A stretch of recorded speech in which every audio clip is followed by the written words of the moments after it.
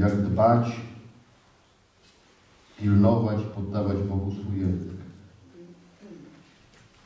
Uzdrowiony przez Boga język potrzebuje codziennego poddawania się Duchowi Świętemu, a zatem codziennie jest on ćwiczony i doszlifowywany każdego dnia. Aby mówić tak, jak mówi Bóg,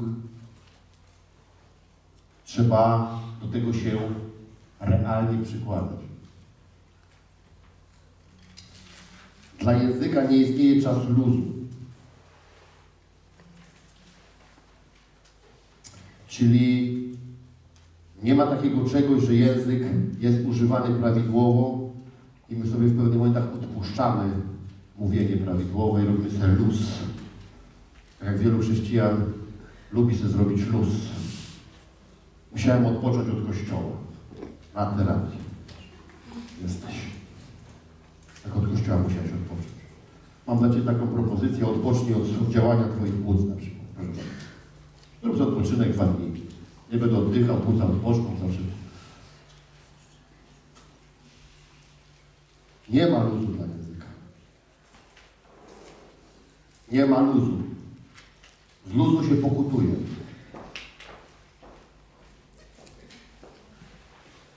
Nie wchodzimy w system cielesnego mówienia nigdy.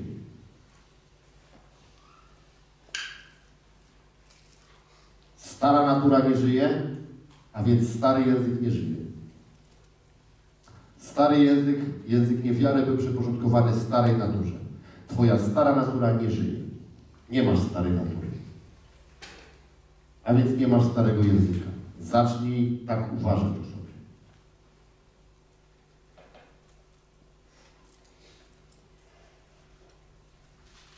Gdy zgrzeszysz językiem, tak jak powiedziałem, to traktuj to tak samo, jak każdy inny grzech. I pokutuj z tego z taką samą, z takim samym zaangażowaniem, jak z każdego innego grzechu. Nie bagatelizuj wyznawania grzechu złego słowa. Bo to jest taki sam grzech, który doprowadza do zakładania demonicznych blokad na Twoje życie. Po prostu. Powiem Ci więcej. To się od razu nie przejawia w wielu przypadkach. Grzechy języka przejawiają się później. Bo słowo jest jak ciecz. Ono napełnia pewne naczynie. I ty mówisz, o nic się nie dzieje, nic się nie dzieje, nic się nie dzieje. Tylko w pewnym momencie następuje wylanie. I zaczynają być kłopociki wtedy. I mówisz, o, taką mam opresję demoniczną. To nie jest opresja demoniczna. To twoja praca, którą wkładałeś od dawna.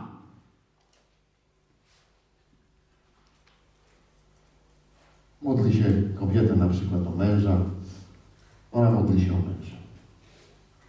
Panie, ustanawiam męża z nieba. Jednocześnie ona systematycznie i przez cały czas w różnych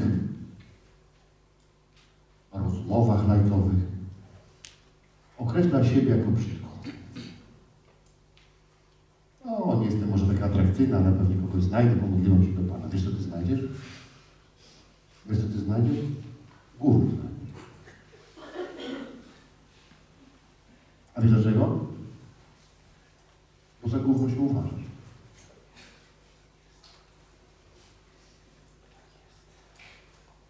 Żaden facet nie chce żyć z gównem. On chce żyć z piękną kobietą. A nieważne jak piękna będzie kobieta, jeżeli ona siebie określa jako brzydką, to w duchowej rzeczywistości zachodzi reakcja. I może się na nią patrzeć facet z nieba. Ale ona swoim językiem zrobiła taki bloker, że on w ogóle nie dostrzeże ani grama jej piękna. Bo ona ciągle mówi, jestem brzydka. Jestem taka. I ten facet z nieba przyszedł i on się kręci przy niej. Tylko, że on jej nie widzi. Jak on może ją widzieć, jak ona jest brzydka? A on nie szuka brzydkiej. On się nie modlił o brzydką żonę. On nie padł na kolana, mówi, Pani, daj mi najbrzydszą żonę na świecie. Chcę, żeby była tak brzydka.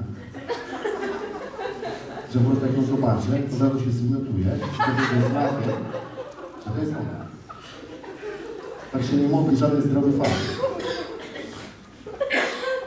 I ten facet przychodzi z nieba, ale on nie widzi jej. Bo ona wyznaje, że jest brzydka, że jest nieatrakcyjna, że jest mało istotna.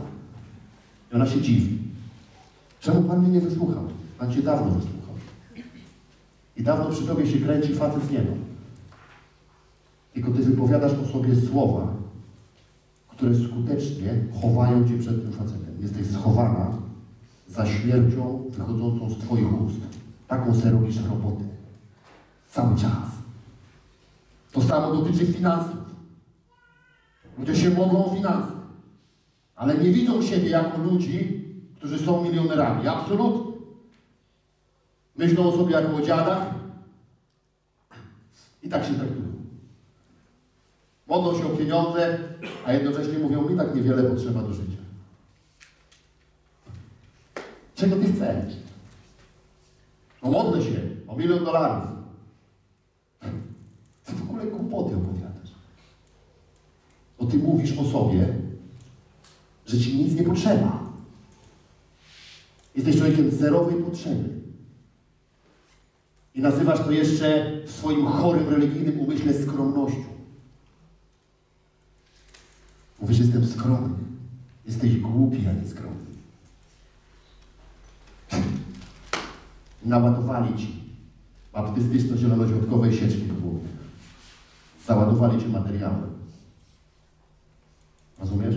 Takim materiałem cię załadowali. Przecież ty o sobie wypowiadasz słowa biedaka. Jestem biedakiem, jest mi dobrze, tak mówisz. Mówisz tak przez lata. Rozumiesz? Nie założysz na siebie atrakcyjnego ubrania, no bo po co atrakcyjne ubranie, proszę Ciebie, komuś, kto jest nędzny? Rozumiesz? Nie, zało nie zrobię tego. Nie sięgniesz dalej, nie pójdziesz dalej. Mówisz. A więc co? Grzechy języka nie od razu są widoczne.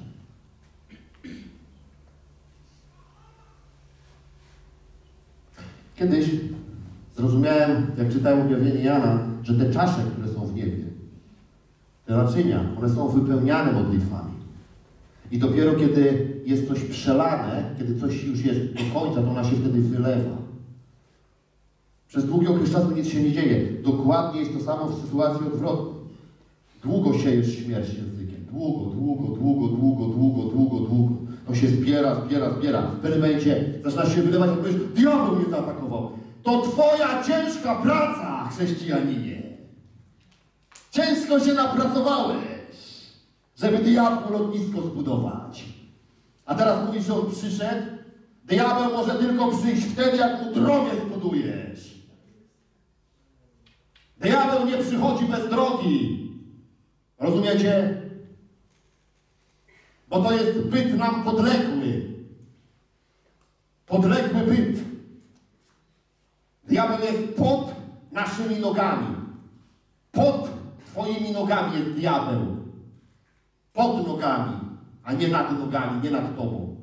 I teraz, żeby on wyszedł spod twoich nóg, to ty musisz mu zrobić drogę. Pitą, twardą, konkretną. I twoim językiem taką drogę mu się buduje. A potem mówi, diabeł mnie zaatakował. No to ci jasne, że ty zaatakował. Mu zbudowałeś autostradę, tak? Stworzyłeś mu super warunki, żeby mógł zapieprzać 200 na godzinę, to ci wjecha. Już mówi, mam drogę, to jadę, co będę tak sam tu siedział. I mu stopy wącham. Tak? Po co? Chcę, żebyś to zrozumiał, bo to się nie widzi. Ktoś mówi, o takie, wiesz, jak cudzołóstwo jakieś takie, to widać na przykład, jakieś morderstwo, złodziejstwo, to od razu widać, o to, to grzech jest, ale grzech języka, nie, nie, nic się nie dzieje. Dzieje się. To jak z wirusem, przychodzi sobie. I buduje się, buduje się, buduje się, buduje się. I w pewnym momencie następuje apogeum. Tak? Zaczynają być kłopoty. A więc nie bagatelizuj tego.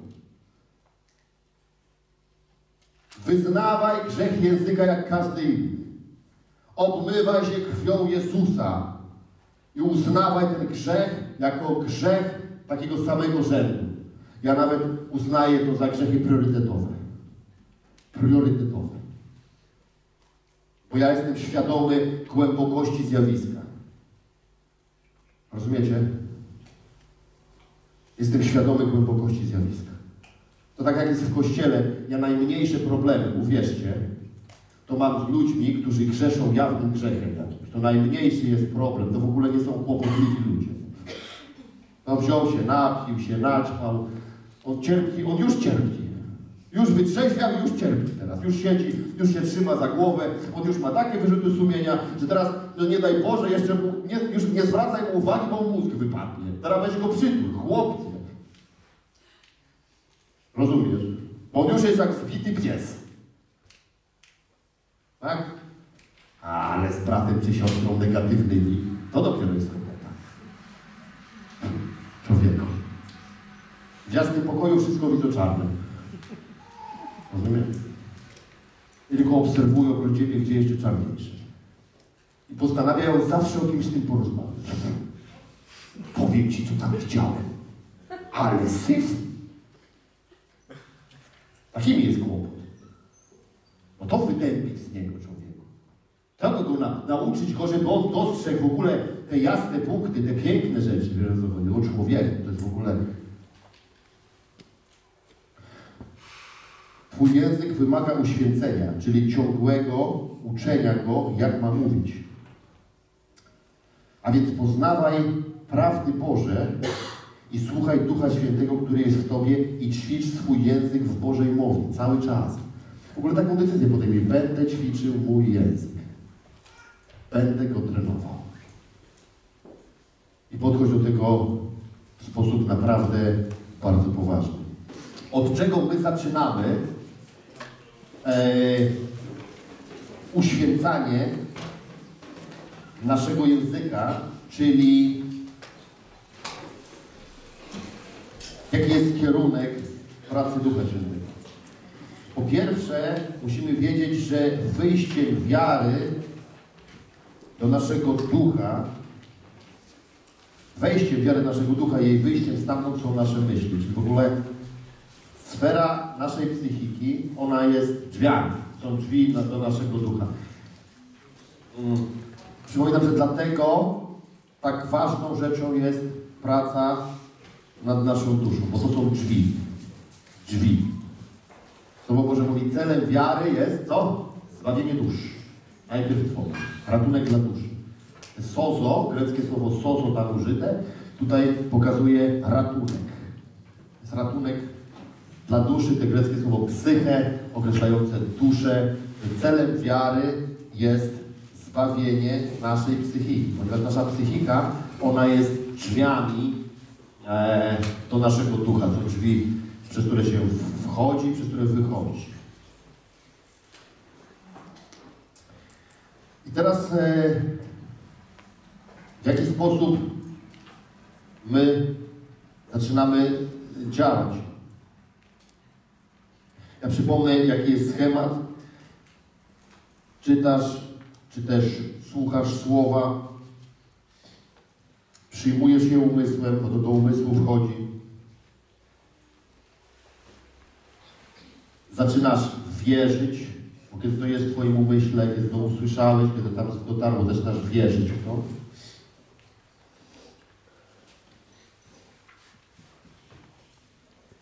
Teraz, w momencie, kiedy zaczynasz w to wierzyć, to wpada do ducha.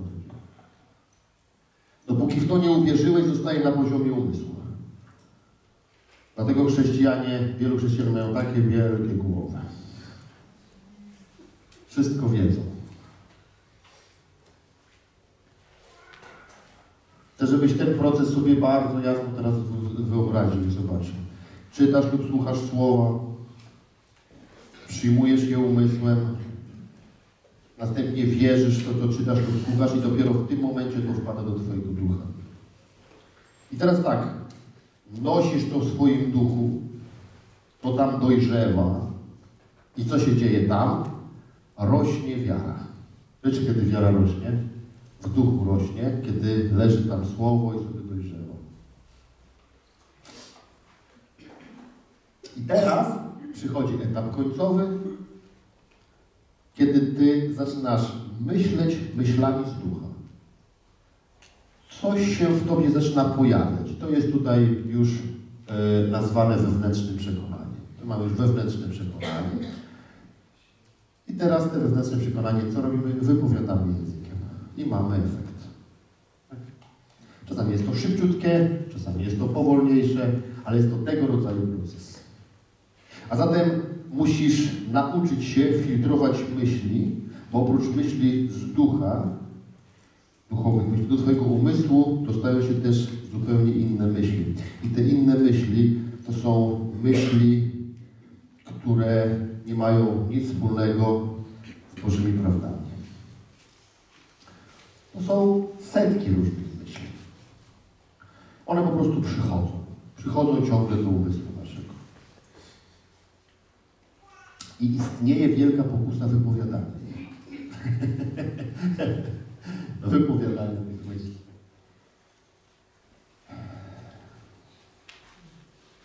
A więc Twój umysł ma działać jak filtr. Zostawiasz w nim tylko to, co jest Boże, dlatego wielka, wielkim znaczeniem jest znanie prawdy. Ja na przykład słucham czegoś ja znam prawdę, ja tą prawdę przyjmuję. Po latach chodzenia w prawdzie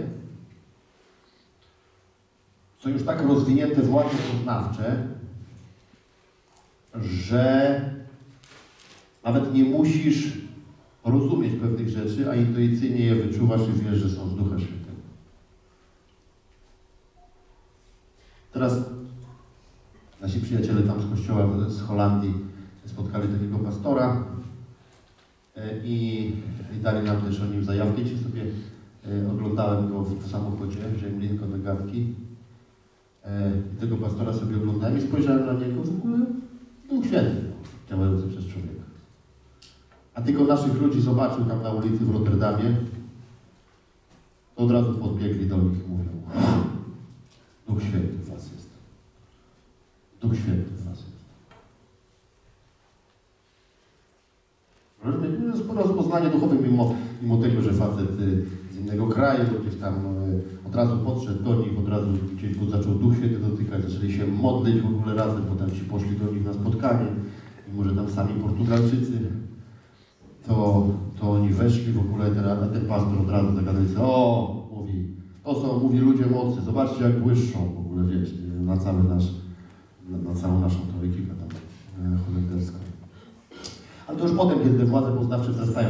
Natomiast bardzo ważną rzeczą jest e, e, na samym początku, że nasz, to, żeby nasz umysł filtrował to, co do nas przychodzi. My nie możemy przyjmować do naszego umysłu czegokolwiek, słuchać czegokolwiek, magazynować tam czegokolwiek. Nie wolno tego robić, ponieważ nasz język będzie zaraz chciał to wypowiedzieć. Na przykład do mnie jako do pastora przychodzą ludzie i koniecznie chcą mi powiedzieć, co myślą o innych ludziach. Nieodparta potrzeba jest w wielu ludziach podzielić się ze mną swoją opinią na temat innego człowieka. Nie na zasadach takich, że się dzielimy informacją, bo to jest zupełnie inna sprawa. Ale na zasadach takich, gdzie intencja jest zła. Chce się poniżyć drugiego człowieka, chce się go w jakiś sposób zdyskredytować, chce się pokazać jego słabe punkty i przychodzi się i o tym się opowiada. Eee, ja się dawno nauczyłem filtrować te rzeczy. Ja ich w ogóle nie magazynuję. Wiecie, co by się stało, gdybym ja je magazynował? Ja bym nie mógł w ogóle być normalnie z ludźmi. Ja bym patrzył na człowieka przez pryzmat tego, co mi o tym ktoś mówi. Ja nie patrzę tak na człowieka. I może ktoś naopowiadać różnych rzeczy o człowieku, tak? Ale przez mój umysł to przejdzie, zostaje wyplute to, tak? Patrzę na człowieka jako na Bożego człowieka. Ja nie chcę być zainfekowany, więc ja nie zbieram. No ale też, też to wyćwiczyłem sobie. Skoro ja wyćwiczyłem, to każdy to może wyćwiczyć, bo to jest, to jest nie problem. Tylko trzeba zacząć chcieć to robić, tak? Czyli my ten umysł musimy trenować w ten sposób, że filtrujemy to, co do nas przychodzi i odrzucamy rzeczy, które nie są Bożymi prawdami, e, mając u podstawy znajomość praw Bożych, wiedząc, że wcześniej czy później to, co w naszym umyśle się znajduje, no ten język będzie chciał wypowiedzieć. Ten język tam musi mieć tylko dobry towar do pobrania. Tylko dobre programy muszą być do pobrania. Bo jak nie, to on będzie popierał. Zobaczcie, bo to jest, tego się, to jest bardzo ciężkie do utrzymania inaczej. Ale to w ten sposób Duch Święty będzie zmieniał Twój język, że On będzie Cię uczył, jak filtrować, nie?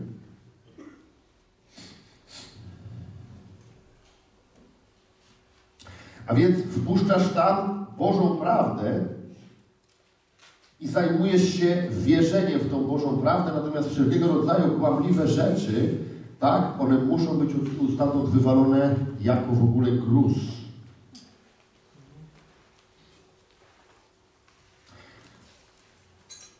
To nie oznacza, że cała Twoja wiedza e, musi zawierać informacje stricte związane z Bogiem, bo to nie o to chodzi.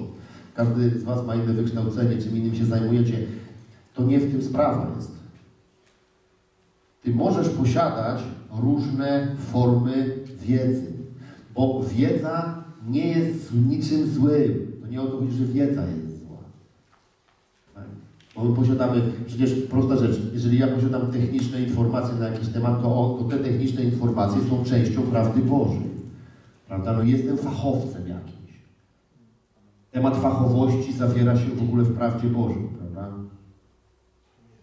Gdzie jest napisane o tym? Cokolwiek, cokolwiek czynicie, z duszy czyńcie, jakobyście czynili to dla Boga i jako. No cokolwiek. Czyli ja mam prawo posiadać wiedzę merytoryczną na każdy temat, powiem więcej, tak? Wykorzystać tą wiedzę powinienem na chwałę Bożą i to jest dobre. A więc tu nie chodzi o pozbywanie się wiedzy merytorycznej, tu chodzi o to, tak, że ja nie wpuszczam do swojego umysłu rzeczy, które są absolutnie zbędne. Nie kumuluję ich tam. Ja kiedyś nawet się pomnożyłem, pom, pom, pomodliłem o świętą amnezję. Mówię, Boże, ja chcę w ogóle zapomnieć o kupie gruzu, który został mi wrzucony przez moje życie do głowy. Ja potem pozapominałem, że nie pamiętam. Ja byłem szczęśliwy, że nie pamiętam. Zjawisk, zdarzeń różnych, ludzi często nie pamiętałem. Wiecie, po, po, po, co to pamiętam? Na co mam to pamiętać? Ja nie mam żadnej przyjemności w tym. Chodzi o to, że wszystko, co wiesz, o czymkolwiek, ma być podporządkowane całokształtowi Bożego objawienia. Wszystko, co wiesz. Wszystko, całokształtowi. Tak? A zatem cokolwiek Twój umysł chce utrzymać, a nie jest to zgodne z Filipian 4, 8, 9, przeczytajmy sobie. I to jest mega pomocna informacja. Filipian 4, 8, 9. Wreszcie, bracia, myślcie tylko o tym, co prawdziwe, poczciwe, sprawiedliwe, czyste, miłe, chwalebne, co jest cnotą i godne pochwały. Osiem elementów filtru. Weź sobie jeden słownik grecki, bo już ja nie mam na to czasu, żeby się tłumaczyć. Zobaczysz, jak to pięknie wygląda w oryginale. Co to są za słowa w ogóle? To piękne słowa są. Ja na przykład tego filtru ustawicznie używam. Proszę, element filtru pod tytułem to, co sprawiedliwe. Co to jest sprawiedliwe? To powie, co to jest sprawiedliwe. Zgodne z prawdą Bożą, zgodne ze Słowem Bożym. Sprawiedliwy jest tylko Chrystus. A więc rzeczy sprawiedliwe to, to, to rzeczy chrystocentryczne. Chrystocentryczne. Co jest w środku chrystocentryczności? Wymiana krzyżowa. Uprość wszystko. A więc co nie jest zgodne z wymianą krzyżową, od razu wypluwać. Proste. Przychodzi myśl do głowy. Ciężko teraz jest w Polsce kryzys. Może wyjechać trzeba gdzieś. Czy to jest zgodne z wymianą krzyżową? Nie. Co mówi wymiana krzyżowa? Chrystus stał się ubogim, abyście bogactwem Jego byli ubogaceni. Czy tutaj jest wpisany jakiś region, jakiś teren, jakaś przestrzeń, jakiś czas? Jest czy nie jest? To jest ponadczasowe. Amen? Dobrze. A więc jeżeli taka myśl przychodzi na przykład, tak, że dlatego, że jestem biedny, to muszę stąd wyjechać, ok? To to nie wyczerpuje tego elementu filtru. A więc co robię z tym? Prosto. Przychodzi informacja o chorobie jakiejś. O jakiejkolwiek chorobie. Czujesz ją, nie czujesz, jest w powietrzu, gdzieś tam wlazła, czy coś. Przychodzi myśl, tak? Odczucie, przez odczucie, przez cokolwiek, tak? Czy to jest zgodne z zmianą czerwoną? Nie. Leżysz sobie wieczorem, sam jesteś, taki jestem samotny, nikt mnie nie chce, znowu zapomnieli, nikt nie zadzwonił. Czy to jest zgodne z wymianą krzyżową? Nie jest, no bo Chrystus został odrzucony, abyś Ty był zaakceptowany. Tak? Można wpuścić taką myśl? Nie można. Nie wyczerpuje elementu filtru. Ale chrześcijanie mają w nosie filtry, tak? Po co będę filtrował, jak mogę się położyć wieczorem i pomyśleć, jaki jestem samotny? Że sobie pomodlę innymi językami, do tego wzmocnię myśl. Tak? Fajnie będzie w nocy. Przyjdą demony. Będzie bal. Rano wstanę, gorszy wstanie. Nie pójdę do kościoła, jutro się zabiję. Przynajmniej jedną rzecz pożytek ma, że do Pana wcześniej pójdzie. Filtr. Tak? Naprawdę weźcie sobie słownik i popatrzcie. To, to jest bardzo fajne. Mi osobiście to rozwiązało bardzo dużo w życiu. Bo to są archaiczne słowa tutaj. Tak jak tylko jedno jakieś tam podałem, ale kiedy są archaiczne. Ale jak sobie prze, przebadasz, to zobaczysz, to bardzo fajny, prosty sposób sobie myśleć. Zobacz, te słowo miłe akurat bardzo dobrze to oddaje. Myślcie o tym, co miłe. No myślcie o tym, co miłe. Te miłe to nam oznacza, że sprawiające przyjemność. No więc teraz tak, jeżeli do mojej głowy wchodzi coś, co w ogóle nie sprawia mi przyjemności, tak? Wiesz, co z tym robię? Wypluję. Ja nie rozważam takich rzeczy. Co mnie to obchodzi? To jest napisane, tak? To jest osiem poziomów filtru. To w ogóle chcę jeszcze raz pokazać, że jarzmo Chrystusowe jest lekkie. To jest tak wszystko proste, proste. Dlaczego chrześcijanie tego nie robią? Z czystego lenistwa. To jest arogancja na poznanie. No. 90 zł kosztuje Pismo Święte. Za 90 zł można być szczęśliwym człowiekiem. 90 zł. Ludzie. A teraz chrześcijanin wpuszcza do umysłu swojego coś, co nie jest miłe i mówi, co się stało? Automuchę przejechało, to się stało. Wpuściłeś do głowy rzecz, która nie jest miła. Na przykład rozmawiasz, rozmyślasz o diable. Nie wiem, ilu was w życiu widziało diabła. Ja go widziałem dwa razy. Tak? W obydwu przypadkach chciał mnie zabić. To w ogóle nie były miłe spotkania.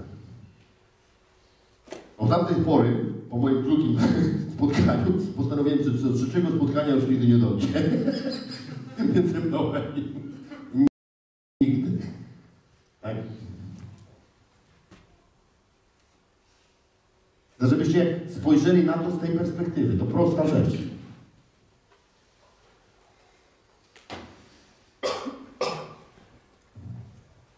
Musisz wyrzucać za pomocą tego filtru wszystko, co nie będzie zgodne z tym filtrem. Wywalcz. On Ci bardzo łatwo pokazuje. Tak funkcjonujący umysł jest gotowy do mówienia za pomocą języka. A więc zmiana mówienia zależy od, po pierwsze, zmiany myślenia. Zmiany myślenia. Bo ty i tak będziesz mówił to, co myślisz, czy chcesz, czy nie chcesz. Nie ma takiego kozaka, który na długim, w długim, w dłuższym okresie czasu będzie mówił coś innego niż myśli. Bo na krótkim odcinku czasu to aktem woli możesz się zaprzeć. A to króciutko, to nie dasz rady. Troszkę dzisiaj emocje podniosą, ktoś cię mocniej kopnie w tyłek, zaraz wyżygasz wszystko, co myślisz. Ha! Momentalnie. Albo podwójne espresso wypijesz na przykład. I koniec. Już po robocie. A więc zmiana myślenia. Po drugie, dyscypliny mówienia z odnowionego umysłu. A więc my dyscyplinujemy ten umysł. Ja was naprawdę zachęcam do dyscypliny. Ja wiem, że chrześcijanie nie lubią dyscypliny. Jestem pod prawem, jestem pod łaską. Ja mówię, dobrze. Idź na siłownię, tak powiedz. Idź. Idź. Albo do dietetyka idź, powiedz, że jesteś pod łaską. Idź. Dietetykowi. Pod łaską jestem. Tylko tak mi tutaj rozpisz dietę, pamiętaj, że jest pod łaską. Więc proszę mi tutaj wpisać, proszę Ciebie, kremówki, pączki, parówki. No i oprócz tego to wszystko, co jest zdrowe. Tak myśli normalny umysł chrześcijanina, bo to, to rozumiesz o co chodzi. Chrześcijanin by poszedł na siłownię i by się pomodlił innymi językami 45 minut chętnie. Mówi, o załatwiłem sprawę, bo jestem pod łaską. Nie! Musisz wziąć to żelazo do ręki. Okej? I musisz wylać swoje święte poty tam. I tyle. Tak? A dzięki krzyżowi masz na to.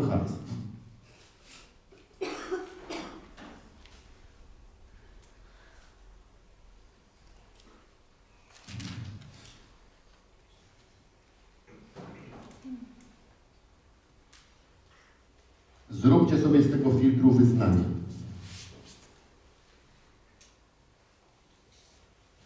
I zacznijcie te wyznanie od tego momentu uznawać jako klucz do zmiany waszego myślenia. W imieniu Jezusa ogłaszam, że od dzisiaj decyduję się myśleć tylko o tym, co prawdziwe, poczciwe, sprawiedliwe, czyste, miłe, chwalebne, co jest cnotą i co jest godne pochwały. I będę mówił to, czego nauczyłem się, przyjąłem, usłyszałem od Ducha Świętego i co widziałem u Jezusa. Wyznanie. Przesłuchajcie sobie tego. I tym wyznaniem oracie do momentu, aż zaczniecie widzieć efekt. Cały dom się porozkleja w kartkach. Jak trzeba. Przy sedesie jedna, przy lusterku druga, przy szafie trzecia, tam gdzie się malujesz czwarta i wyznajesz.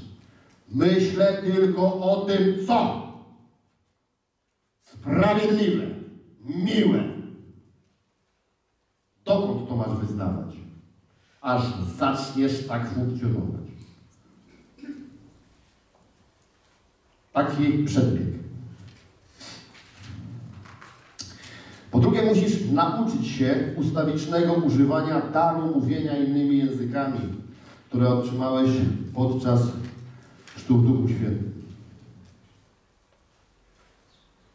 Módl się językami w komorze, ale i wszędzie, gdzie tylko możesz się modlić. W dzień, w nocy, wszędzie. Śpiewaj w innych językach. Kto systematycznie śpiewa w innych językach? Podnieście ręce do góry. Super, bardzo dobrze. Reszta nauczcie się. Śpiewacie w innych językach. Co? Wszystko! Hymn polski wyśpiewaj w innych językach, jak nie masz jakiejś melodii. Szabarala, parababa. Śpiewaj kraj, rozumiesz w środku. Niech to ci leci. To chcesz. Wszystkie melodie, które są w świecie, są skradzione przez diabła. A więc nie miej żadnych skrupułów brać piosenek ze świata i śpiewać je w innych językach. Całe disco polo do Twojej dyspozycji. Prosty jak drut. Co tu się zastanawiać, że jestem w pracy i puszczają mnie radio? Niech puszczają. Ja pracowałem w takim markecie, człowieku, jeszcze wykupili takie radio. Człowieku, jakie radio wykupili? Bo ja to nie wiedziałem, że trzeba wykupić, zapłacić za to, bo to nie można sobie tak publicznie puszczać, jakiej się chce fali. To wykupili taki badziew, rozumiesz? No, że szok. No i wchodziłeś od rana i ten badziew leci. Ja po jakimś czasie mówię, nie, to jest niemożliwe. Przecież ten badziew nie przenika. Czuję go w ogóle, że nie wchodzi w ogóle, wiesz, nie? Ja już nawet wolałbym, żeby to disco polo było. Bo to się w pudle nauczyłem tego disco polo, słuchaj, mówię, przeży... ale ten badziew, po jakimś czasie mówię zaraz, mówię, całkiem mnie dobrze idzie śpiewać, mówię, pod te melodie innymi językami. Wszystko innymi językami tam śpiewałem, człowiek. Ktoś mówi, po co? Ja mówię, człowieku, bo ty językami mówisz, dzieła pańskie ogłaszasz. Mówię, masz Biblię? A melodia jest do tego przydatna. Bo łatwiej się ogłasza przy tej przy melodii. Inne języki to nie są po to, żeby powiedzieć parę słów, się przychodzi do kościoła. Innymi językami modlisz się wszędzie. Nie działa ci rano mózg, idziesz usiąść sobie na sedes, proszę się modlić innymi językami, kubkę robić. Uważasz, że Bogu przeszkadza, że ty kupę robisz, jak się modlisz innymi językami? W mojej Biblii jest napisane, że się modlisz duchem, a nie jelitem, tak? Bóg wie, że masz jelita, bo ci je stworzył. Nie ma w ogóle dla niego żadnego problemu, że robisz kubkę i się modlisz innymi językami. Jakie to ma znaczenie? To dla naszych schorowanych umysłów to ma znaczenie. Bo to humanizm doprowadził do tego, że ludzie myślą, że nie mogą proszę Ciebie stanąć nago przed Bogiem, bo, bo proszę Ciebie, bo nie się Adam i Ewa budzą. To przekleństwem było, że oni się ubrali, przypominam. Ubranie się było przekleństwem. To, że my ciuchy dziś nosimy, to jest przekleństwo. Błogosławieństwem było chodzenie nago. A gdzie jest problem w chorych głowach, żeby się nago do Boga pomodlić. Albo że na sedesie on siedzi i on ma problem się modlić do Boga. Jest napisane, niech mężczyźni wszędzie znoszą czyste ręce. Tam nie napisane. To do żony, się trochę mówił mężach. Z tego mówiłeś, czy, czy myjesz ręce? Śmiałem się nie mówię, umyłem, że miałem brudny. Tak, ale to klejące. Ale kobiety myją zawsze ręce. A mężczyźni wtedy, kiedy mają brudne. To nasz różni, no jakoś musimy się różnić. Ale nie w tej chwili chcę o tym mówić. Chcę mówić o tym, że się modlił ustawicznie w innych językach. Bo to jest karabin maszynowy. I jak Twoje języki wyglądają, proszę Ciebie, jak wiesz, nazwa japońskiego samochodu, proszę Ciebie, i powtarzasz to 40 lat, to to zmień. Rusz do przodu w tych językach. Rusz do przodu. Rozumiesz? Rusz do przodu. Rozwin się, nie bądź dzieckiem. Bo ja tylko cztery słowa znam. Ja mówię człowieku, bo ty jesteś leń śmierdzący. Cztery słowa w innych językach. Po polsku też znasz cztery słowa? Nie. A mówię, dlaczego w innych językach nie znasz więcej słów? Nie wiem. Się patrz. Nawet zaryzykuj. Zaryzykuj może więcej słów. Tak? Paweł też mu się modlę, mówię, o was, że mówili w tych językach więcej. To niebiański język i on musi zdominować twój ludzki język. Jeżeli będziesz ustawicznie modlił się w innych językach, to ty spowodujesz, że twój ludzki język zacznie mieć o wiele większą łatwość, tak? W używaniu słowa wiary. Oczyścisz jakby drogę modlitwą w innych językach. Nie wiem, ilu z Was robiło eksperymenty modlitewne. Ja ich robię coraz więcej.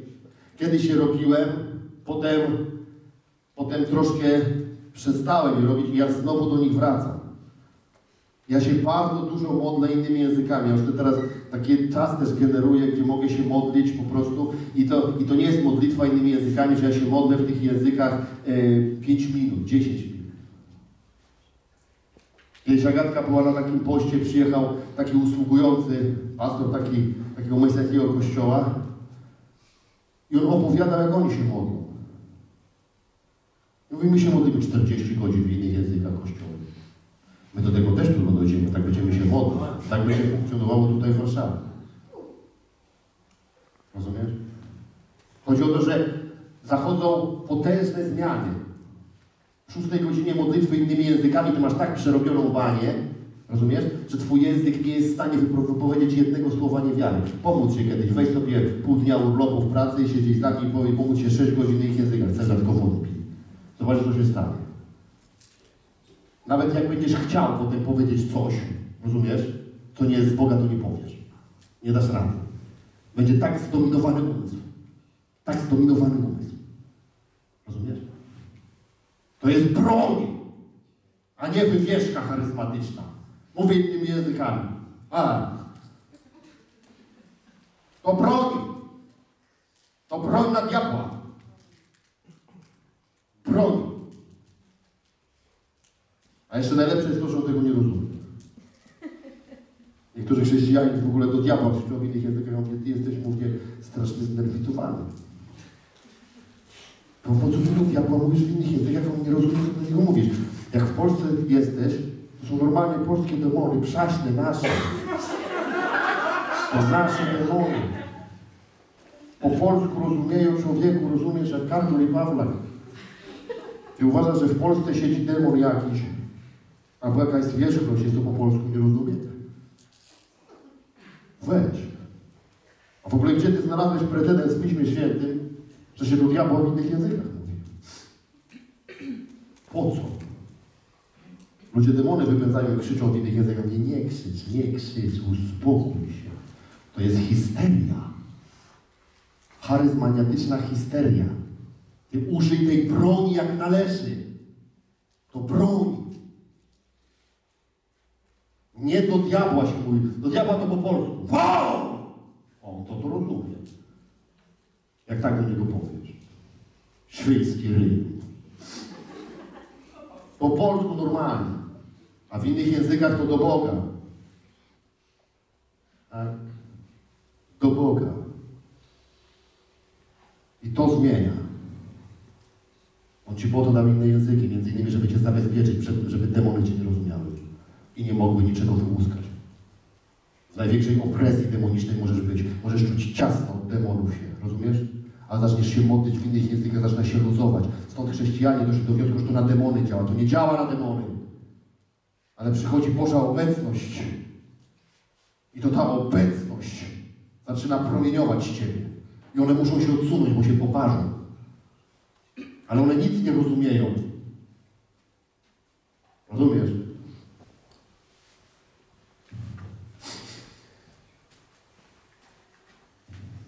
A zatem mówimy z nowego umysłu.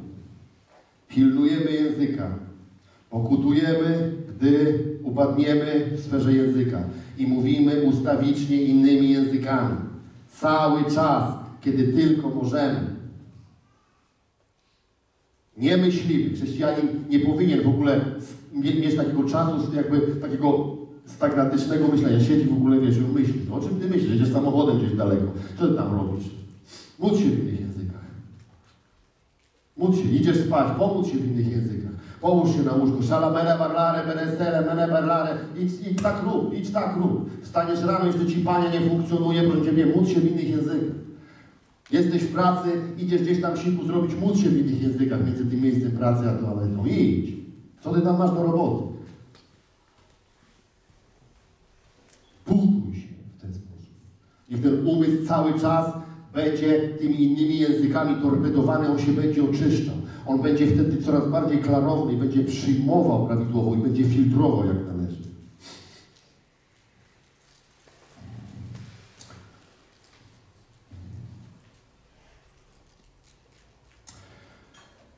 Psalm 39, 3, 5. Psalm 39 od 3 do 5. Zanim mówiłem, zamilkłem pozbawiony szczęścia, lecz ból mój się powiększył. Rozpaliło się serce moje we mnie, gdy rozmyślałem, zapłonął ogień. Wtedy odezwałem się językiem swoim. Daj mi, Panie, poznać kres mój i jaka jest miara dni moich, abym wiedział, że jestem znikomy. Zobacz.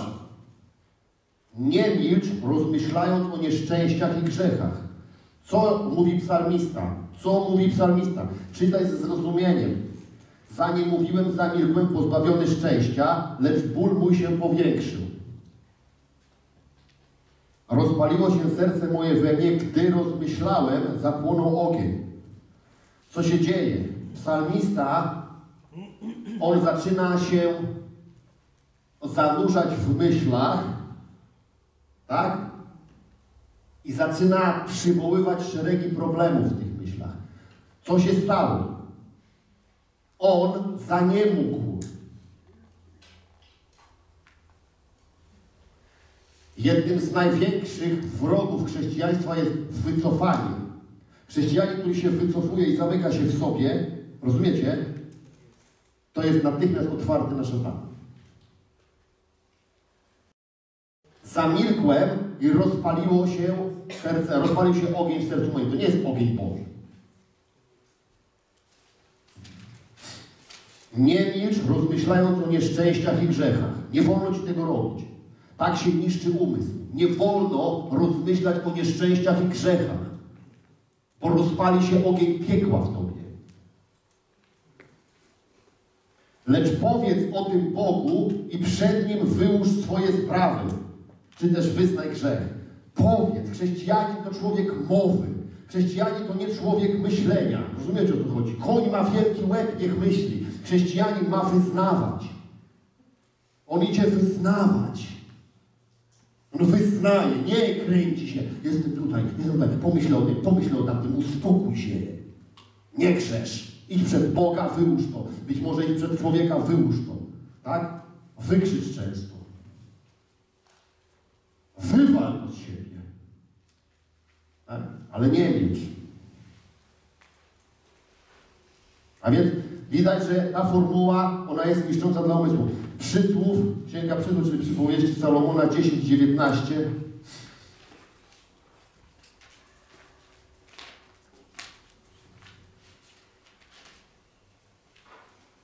Gdzie dużo słów, tam nie brak występku.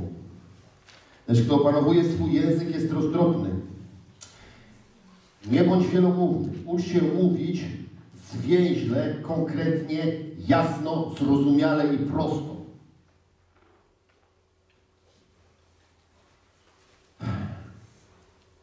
Ja osobiście nigdy nie spotkałem tak zapętlonych wypowiedzi jak wśród chrześcijan charyzmatyków. Jakże ten naród potrafi zapętlić każdą rzecz. Dzwoni się do mnie ktoś i mówi do mnie i robi, ten, robi taki przedbieg i on już w tym, w tym przedbiegu, w, tym, w ten wstęp mi zrobił. Zrobił mi ten wstęp, który ja już miałem przed O co Ci chodzi? Konkretnie. Ja mówię, nie mów do mnie już. Mówię, potrzebuję czego? Pożyczyć pieniądze, chcesz pieniądze konkretnie, jakie, takie, za co, czemu, dlaczego? Powiedz mnie krótkie, krótkie komunikaty. Mówię, umiesz komunikować? Komunikować. Tak, nie. W mojej Biblii jest napisane tak, nie. Tak nie, Bóg to jest Bóg krótkiego komunikatu. Krótki komunikat. Niektórzy myślą, że wiesz, tu chodzi o to, żeby teraz... No, prostą rzecz ludzie potrafią tak zapętlić. Gubią wątki. Ja często się zastanawiam, mówię, Boże, czyżby schizofrenia była tak szeroko rozprzestrzeniona w charyzmatycznym kościele? To jest możliwe? Taki rozmach? Tak liczne gubienie wątków? Ja wątki kupiłem jak klej budaprem wąchałem. Kupiłem wątki. Rozumiesz? Ale normalny, trzeźwy umysł nie kupi wątków. Po co to takie rzeczy robić? To grzech. To tutaj mówi słowo. Gdzie wiele słów, tam nie brak występku. Czy człowiek się wykoleja w tej wielości słów? Powiedz, o co ci chodzi. Powiedz, o co ci chodzi. Nazwij tą rzecz konkretnie, jasno. Zakomunikuj. Więc nie bądź wielomówny, się mówić zwięźle, konkretnie, jasno, zrozumiale, prosto. Wiecie, z językiem, rzecz nie polega na tym, że jedynie wypowiadamy jakieś frazy wiary takie, że, że wierzę w to, że nie, tu chodzi o kulturę mowy. Jak się czujesz? To zależy. Nie trzesz! Co zależy? Zakomunikuj mi, jak się czujesz. Zakomunikuj mi. Zobaczcie, to są problemy języka, bardzo poważne.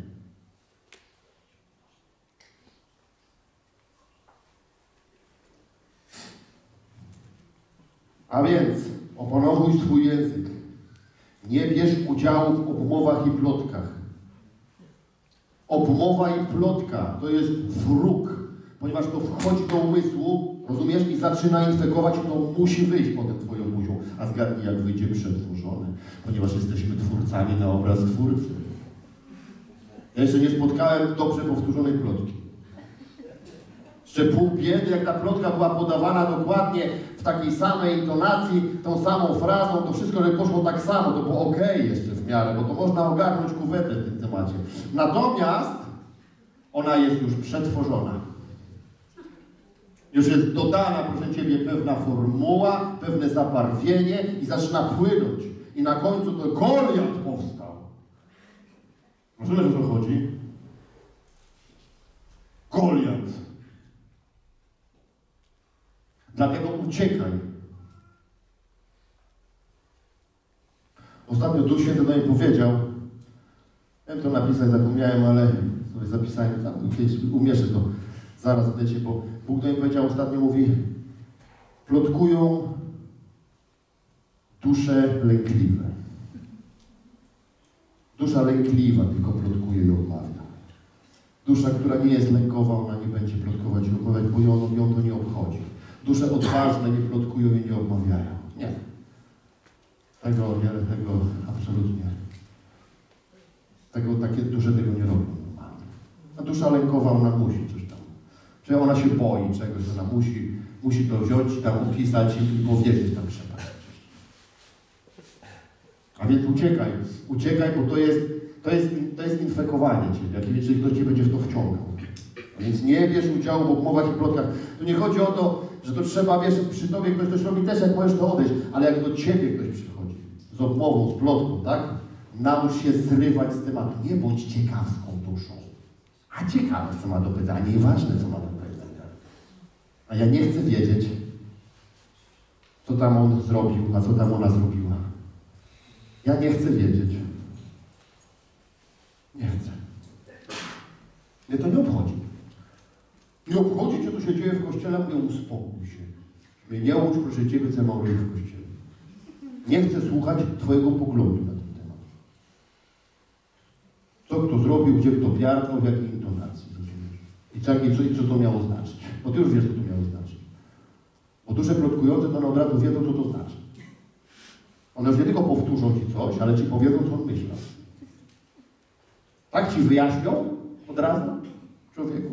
Wiesz, no, myślą o proroczym wejrzeniu. On ma prorocze wejrzenie, co myślał. On ma prorocze, on ma wejrzenie, co on myślał. Wiesz.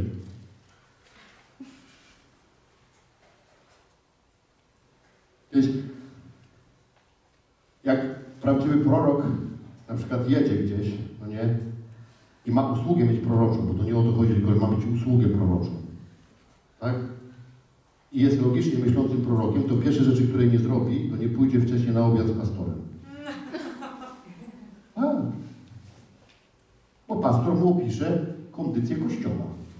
Przecież pastor, każdy pastor, tak, będzie chciał się czymś pochwalić, coś powiedzieć, on opisze kondycję kościoła i ten prorok już ma zaburzoną e, formułę proroczą. On już nie będzie w stanie prorokować. Bo czy chcemy, czy nie chcemy, to plotka i obmowa, ona nas zatyka. Rozumiecie? Zatka cię. Ona cię zatka. Bo jesteś zopiniowany i ty, twój umysł powieli opinię. Bo my, rozumiecie, my nie ogarniemy tego tematu. Ja wam po prostu chcę pokazać, że nie, nie, nie trzeba nam walczyć z czymś, co jest naprawdę mega trudne. Umysł ma bardzo trudno, tak, nie zopiniować czegoś. Rozumiesz? To w ogóle naprawdę trzeba być mega duchowym człowiekiem, nie wiem, takim w ogóle takim poziomie w ogóle Chrystusa, wiesz, żeby nie, żeby, żeby nie ruszyć z tą opinią dalej. Dlatego lepiej, co zrobić? Unikam. Przerwij komuś pół zdania, zmień temat, powiedz, że dzisiku chce się, nawet jak ci się nie chce. Lepiej oszukać, że chce ci się siusiu, niż słuchać plotki. Okej? To lepiej wyjdzie dla twojej głowy. Bo potem nie będzie się tych rzeczy powielało i powtarzało w całości lub części. Lepiej. Dalej, nie bądź szybki w wyrażaniu swojego zdania. Posłuchaj, poczekaj. Nie od razu.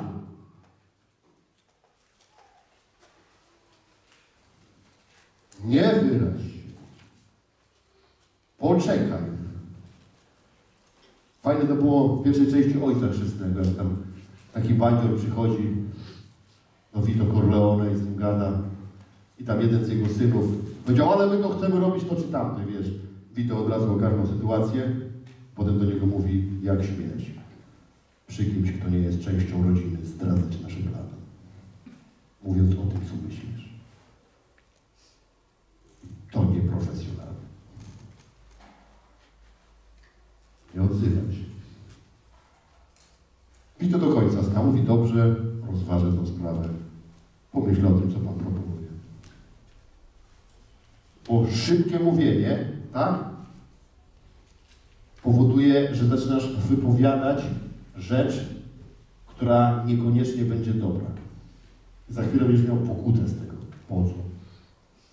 Poczekaj. Świat się nie kończy. Jak Jezus będzie wracał, to będziesz wiedział też. Niekoniecznie trzeba tak reagować. A więc nie bądź szybki w wyrażeniu swojego zdania. Dalej, nie wtrącaj się w rozmowy, których nie prowadzisz. To jest kolejna zmora Kościoła. Nie wtrącaj się w te rozmowy. Nie chciej gdzieś tam się wyrazić. Ludzie, którzy ciągle gdzieś chcą się wyrazić, tak? To jakiś deficyt po prostu po strasznie gdzieś mają. Muszę się wyrazić, się nie wyrażę, to będzie.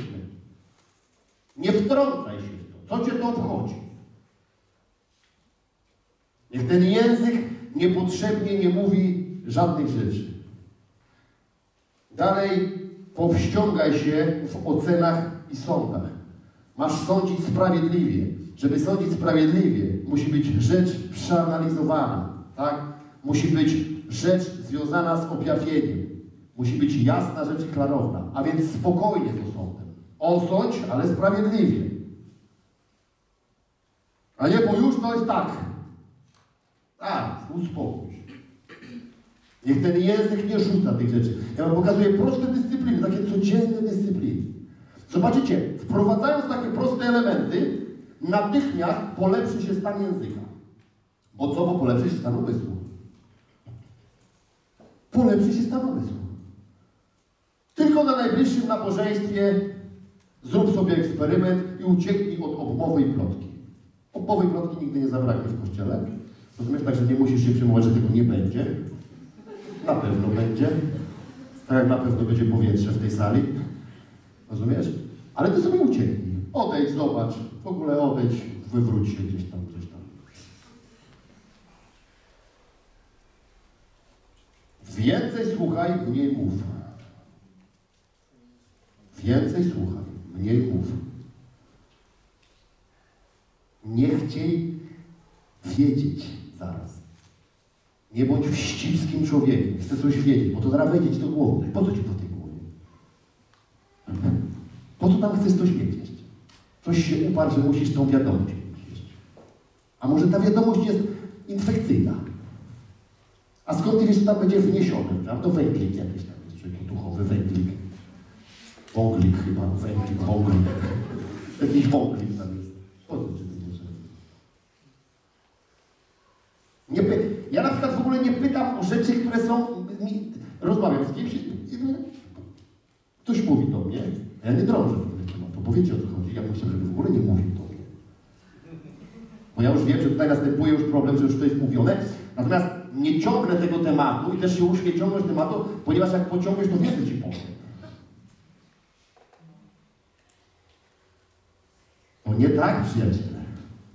To nie w tą stronę.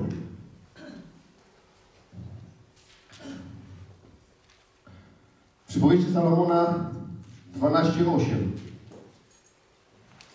Chwali się człowieka według jego roztropności. Lecz gardzi się tym, kto jest przewrotnego serca. Prawda, 12:18. Źle przeczytałem. Kto mówi nierozważnie, rani jak, nesz, jak miecz, lecz język mędrców leczy. Wypowiadaj słowa rozważone, czyli takie, których jakość i celowość przeanalizowałeś.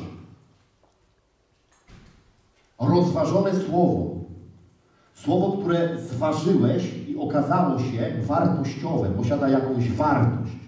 W ogóle wiecie, co to znaczy rozważyć coś? To znaczy, że się coś waży i się sprawdza, jaka jest tego waga. Czy to jest wysoka, wysoka waga, czy wysoka ranga czegoś, czy to jest niska ranga. Jak niska ranga, ok, to w ogóle nie uwalniam słowa. Nie uwalniam byle czego. Nie uwalniam. Ja na przykład jak wchodzę do sklepu mięsnego, to się przyglądam na to, co tam jest. Wiecie? Ja nie wchodzę, nie biorę. Czasami patrzę, jak ludzie biorą różne rzeczy, mówią, Boże kochany, czy jak to zjedzą? Mówię, trudna sprawa, nie? Ja tam biorę rzeczy, które mają wartość. Ja na przykład wiem, co ma wartość. Wiesz? I teraz ja muszę też rozważyć to, co ja mam tutaj, bo tutaj mi wchodzą rzeczy, ja rozważam i uwalniam to, co ma wartość. Innych rzeczy nie uwalniam. Co mówi słowo? Mówcie tylko to, co buduje. Jakiś budulec mam powiedzieć. To nieważne, czy to będzie budulec e, wielkiego rzędu, czy małego. Nieistotne, bo ja mogę ze swoją córką spędzać czas i teraz ja tam uwalniam jakiś budulec na naszym poziomie. Ale ja budulec uwalniam. Ja nie uwolnię do córki naszej niczego, co nie jest budulcem. Coś, co zbuduje ją, zbuduje. Nawet w żartach, nawet w zabawie. Coś zbuduje na przykład naszą relację. Rozumiesz? Coś buduje. Teraz ja teraz mówię coś, co buduje. Buduje. Na przykład zauważyłem, że jakoś w, w, ostatnich, w ostatnich tygodniach raptem u Sary, u Sary nastąpiło wzrost poczucia humoru. Ty, tak raptem. Takie, takie... Bo ona na przykład nie rozumiała pewnych rzeczy w ogóle, nie potrafiła się z nich śmiać, nie potrafiła zatrybić jakby jakiegoś elementu, który powoduje wesołość, nie widziała dowcipu, nie czytała, patrzyła, czasem mówi, nie rozumiem o co tu chodzi, my z czegoś my się śmieliśmy, z czegoś Co się się w mózgu stało teraz, nie? Tak szybko się stało i ona zaczyna Taki dowcip w niej jest, a w ogóle to jest taki, jeszcze ma taki dowcip, co mi on pasuje. Bo on jest, bo to różni ludzie mają różny dowcip, akurat ona ma coś takiego, że ja to czytam, nie? To mi sprawia, ja, ja widzę, że na przykład ja na tym poziomie mogę z nią sobie zacząć budować rzeczy, ja już tam buduję coś.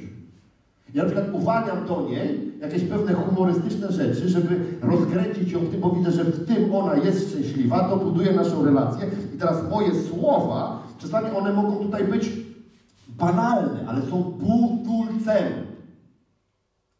Ok? Budulce. Ja buduję ją tam. Bo Słowo Boże mówi, mów, mój człowieku, tylko to, co buduje. Tylko tylko to, co buduje, mówi Bóg.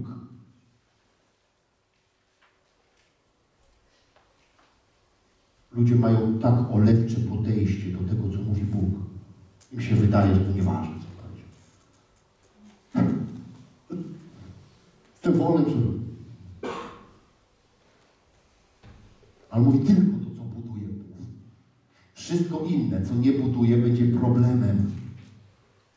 Zasiejesz problem. Dzieciaki, zasiejesz problem.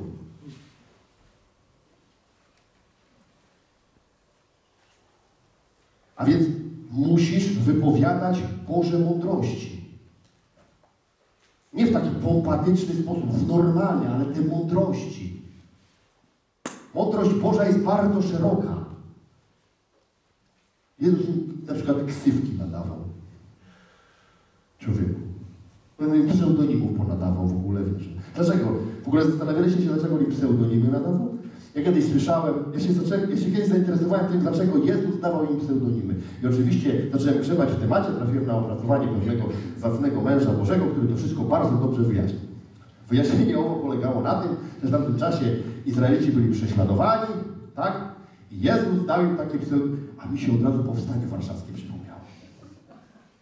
Wiesz o co chodzi? Jest dzisiaj kamiński pseudonim Zośka, wiesz, ja mówię, i od razu widziałem Jezusa, w ogóle jakieś tam im nadaje, tak jak w powstaniu, wiesz, nie?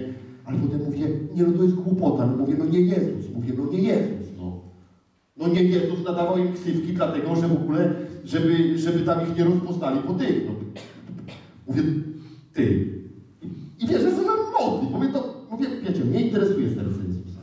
Jego umysł w ogóle, co on miał w głowie, jak chodził po tym, mnie to bardzo interesuje. Bo to ten duch, który był w nim, to jest we mnie. Ja się w ogóle muszę z tym zapoznać bardzo dobrze, o co tu chodzi.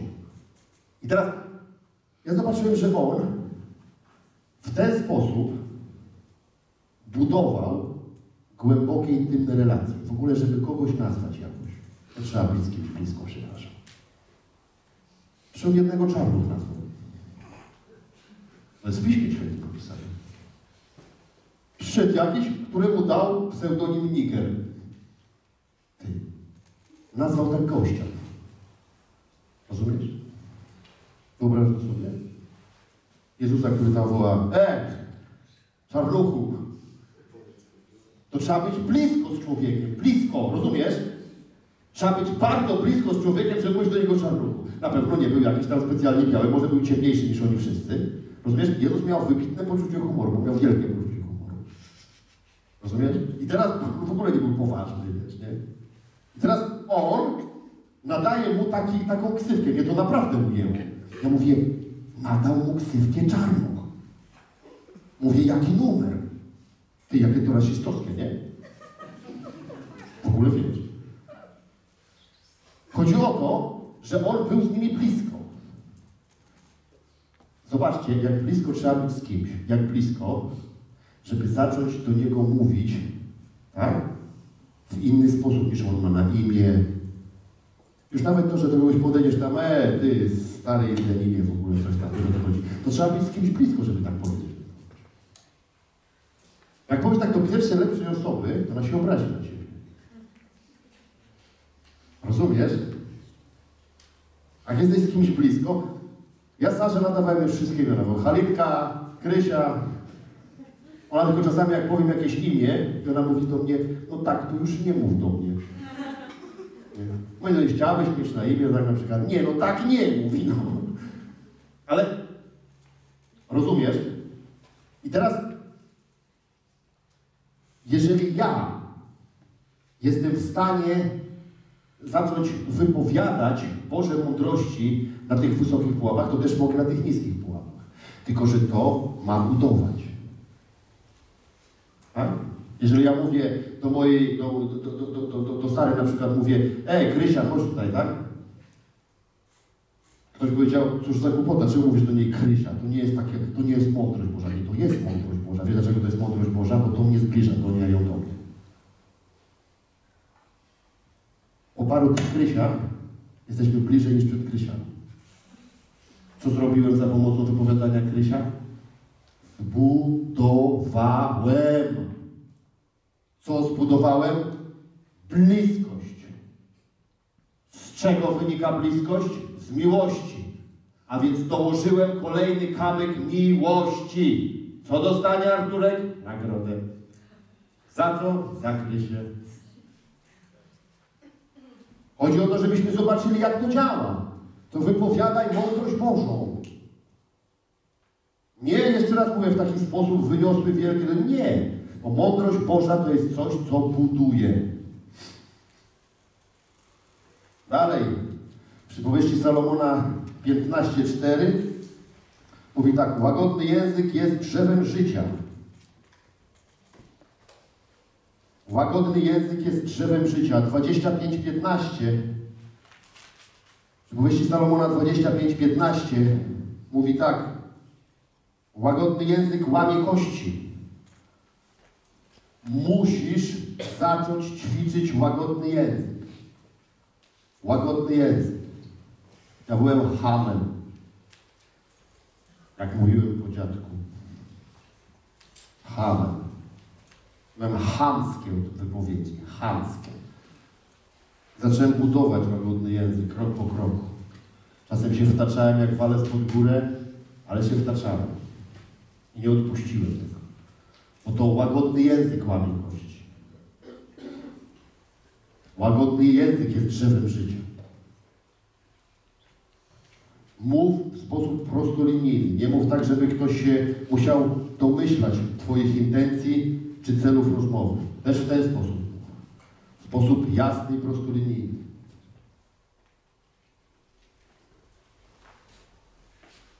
W ogóle wiecie, że wszelkiego rodzaju zakomplikowywanie celowe rzeczy to jest pochodna czarna, prawda? A więc łagodnie, a więc prostolinijnie. Przypowieści 21.6 mówią, kto gardzi, kto gromadzi skarby językiem kłamliwym, ugania się za marnością i wpada w sidła śmierci.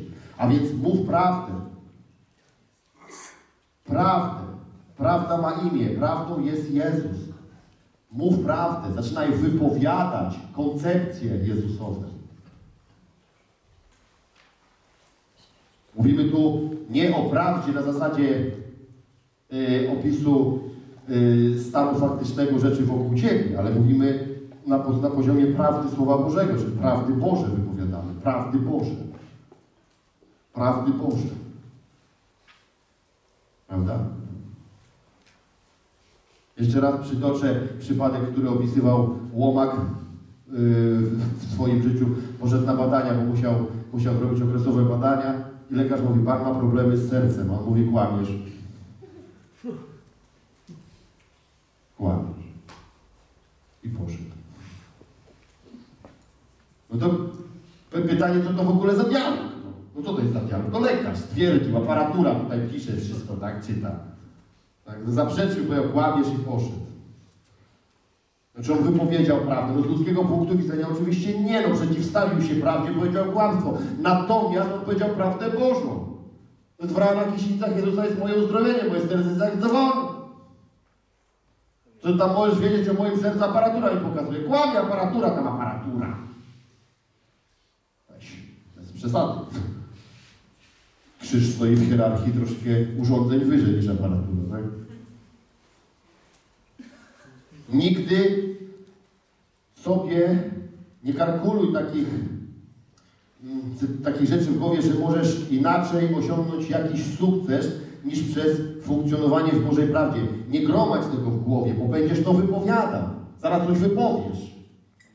Jakąś koncepcję zaraz znowu wypowiesz i już uruchomisz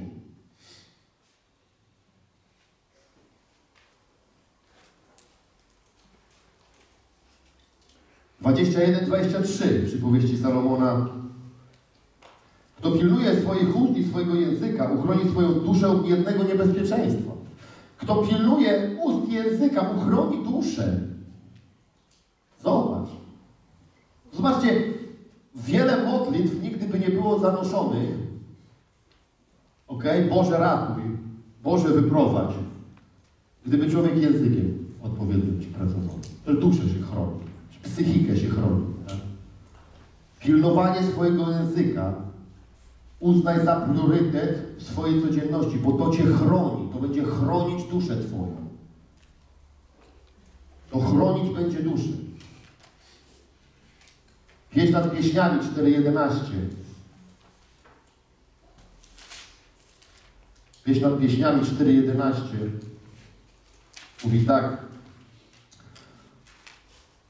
Patoką opływają Twoje wargi, okrupienicą, miód i mleko są pod Twoim językiem, a woń Twoich szat jak woń Libanu.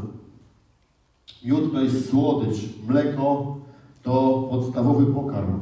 Twoja mowa ma być piękna i budująca. Miód i mleko. Piękno i budulec. Ja Dzieciom zawsze naszym mówiłem i powtarzam je dalej, mówię, chcesz mieć pięknie, mów pięknie. Chcesz mieć w życiu pięknie, to mów pięknie. Zmień mowę na piękną mowę. Nie mów brzydkich słów.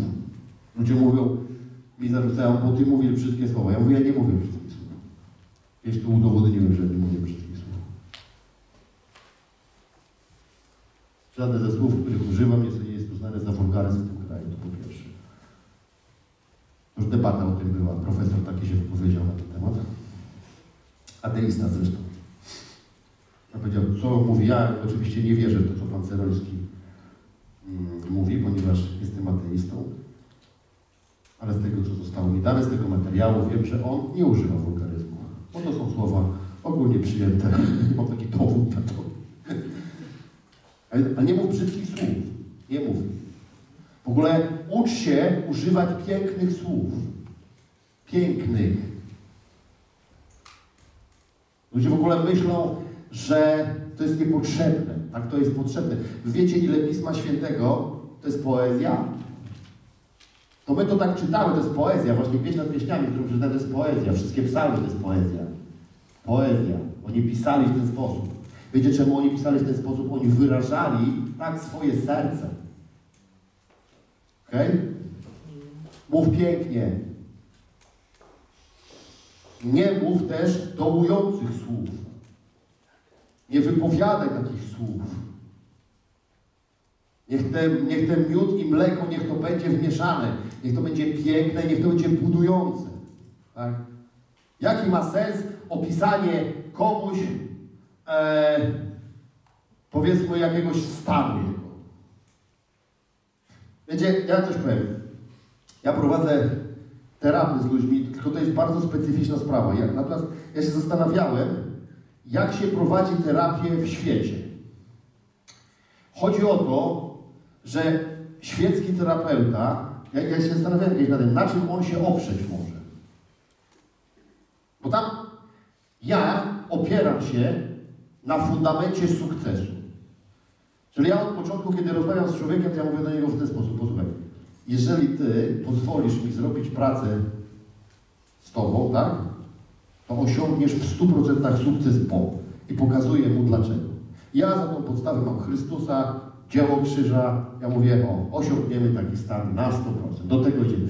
Zastanawiałem się, jak działają terapeuci w świecie, bo znaczy, co oni mogą komuś obiecać, no co? No nie, nie Nie będziesz się bał, no... Też nie powiedzą, nie będziesz się bał, bo nic nie, ci nie powie. Pomogę Panu. Ale co zrobią najpierw? Nakreślą problem. Każdy człowiek, który jest który szuka rozwiązań u terapeutów światowych, on będzie miał na pewno problem nakreślony, czyli na pewno się dowie, w jakim dole siedzi. Bo nie ma problemu, żeby komuś dół opisać. Tak? Ale ty musisz zrozumieć, że twój język musi funkcjonować w ten sposób, żeby te dołujące słowa, one nie były kulturą twojej wypowiedzi. Tak? Ani w stosunku do ciebie, ani w stosunku do innych ludzi.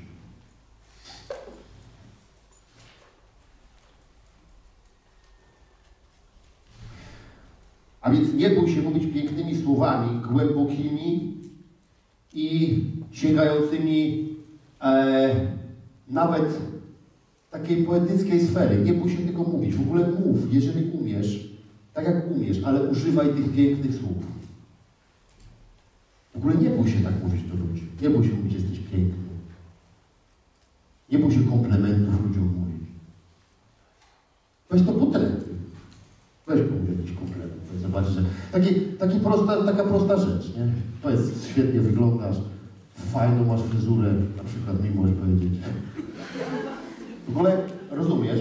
Powiedz, że super masz perfumy, nie wiem cokolwiek, ale trenuj ten język, trenuj. Niech ten język będzie. Wiecie, jak ludziom ciężko jest w ogóle powiedzieć wierzącym ludziom. Wierzącym ludziom. Ja, jest ciężko powiedzieć komplement do drugiej osoby, ale taki, wiesz, no, no ciężko bardzo powiedzieć komplement. Jest problem z mówieniem pięknych słów. Jak tam bracie, chwała Bogu, no i koniec. Porozmawialiśmy sobie. Tak? No tutaj to tak, w tych naszych kościołach, to w tym ruchu, to tak, tego, tego tak nie ma, no ale człowiek się bujał po tych, wiecie, tych bałaganach tam baptystyczno-zielonoświątkowych, czyli to, to, to, to, to jest notoryczne na człowiek. Aleluja, aleluja.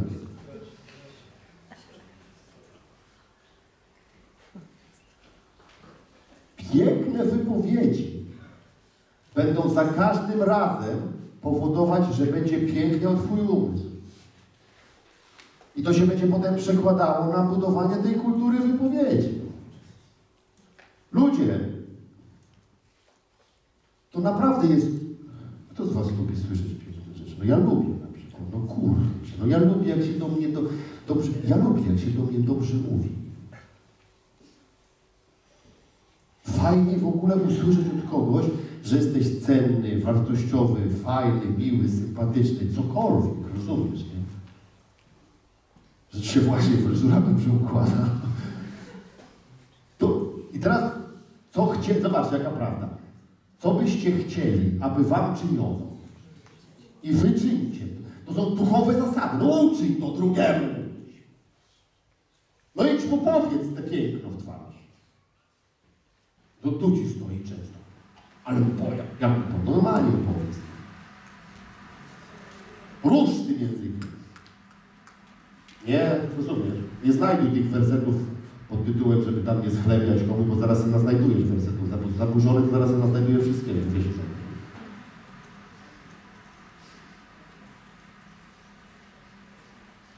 Jeremiasz 9,4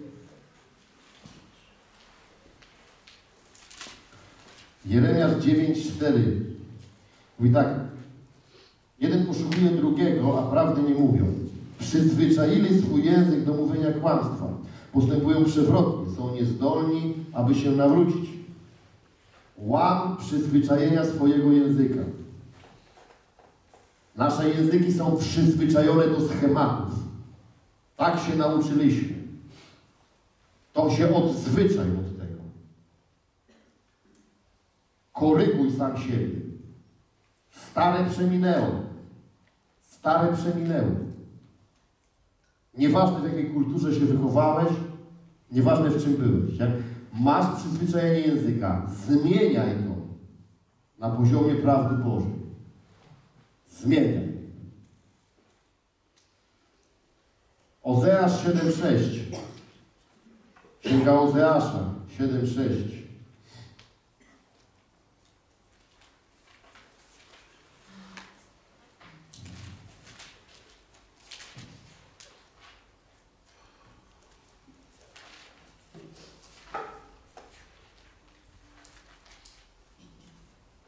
Znajdzie Ozeasza? Mam nie, nową Biblię i nie mogę się w niej. Kto przeczyta, jak ktoś znalazł, niech przeczyta. A ja powtórzę.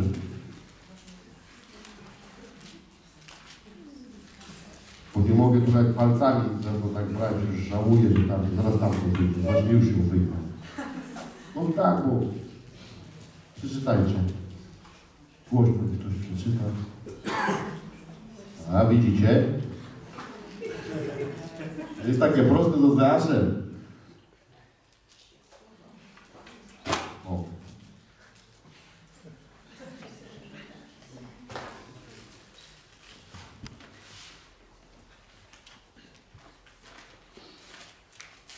Siedem, sześć, szesnaście. A, widzicie, już się pomyliłem. Zwracają się do Bala, Stali się jak łuk zawodny, to też ich książęta padną od miecza z powodu swego zuchwałego języka i będą pośmiewiskiem w ziemi egipskiej. Zuchwalstwo to mówienie o sobie jako o zwycięzcy na podstawie wyznania o własnej sile. Kto to jest zuchwalec? To jest człowiek, który twierdzi, że jest wielki na podstawie swoich uczynków na podstawie swoich naturalnych uwarunkowań. To jest zuchwalec. To różni człowieka Bożego od zuchwalca. Człowiek Boży wie i rozumie, że jest wielki, dlatego że jest w nim Chrystus. I niekoniecznie musi to powtarzać, bo to nie o to chodzi, żeby to powtarzać. Tu chodzi o intencje i stan serca. Zuchwalec mówi, jestem wielki. Jestem wielki. Zawsze jak to Jak myślę o zuchwalcu, przypomina mi się taki gość, któremu głosiłem Ewangelię w więzieniu, taki człowiek, który był przywódcą jednej grupy przestępczej. Był bardzo bogaty, świetnie wyglądał, głosiłem mu Chrystusa. Tak stał, patrzył na mnie z pogardą. Patrzył tak na mnie i mówi do mnie. Ja mówi, mnie takie, mówię, wiesz, bajki nie interesują, mówi, wiesz, ja jestem biznesmenem, wiesz. Wyszedł za potężną kaucją, za miesiąc. Nie wiem ile był, tydzień na wolności. Tylko jego Mercedesa 600 znaleźli. Ja go nigdy nie znaleźli, już nawet zwłok. Biznesmen. Biznesmen był. Zuchwalec. Ty mów o tym, że jesteś zwycięzcą na podstawie wyznania, że Jezus Cię wyzwolił, wzmacnia Cię i prowadzi. Ogłaszaj swoją zależność od Boga. Twoje serce, jak będzie tym przepełnione, to Twoja, e, to, twój, to, to, to, to, to, to będzie jakby z Ciebie wypływało. Natomiast nigdy swoim językiem nie uwalniaj słów określających Ciebie jako wielkiego z uwagi na Twoje naturalne uwarunkowanie. Rozumiesz? Na Twoje osiągnięcia. Rozumiesz? Na to, co zdobyłeś w życiu własną siłą. To jest zuchwalstwo. Robienie z siebie zucha. Efezjan 5:20.